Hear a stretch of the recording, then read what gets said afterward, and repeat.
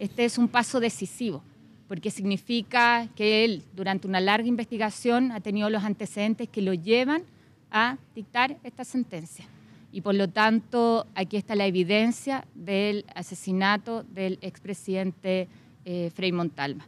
Una vez más, hacer un llamado al ejército, porque ellos tienen, firmaron un pacto de silencio que se mantiene hasta el día de hoy y pedirles nuevamente que entreguen información, porque el juez sabe que hay información pero que no la quieren entregar.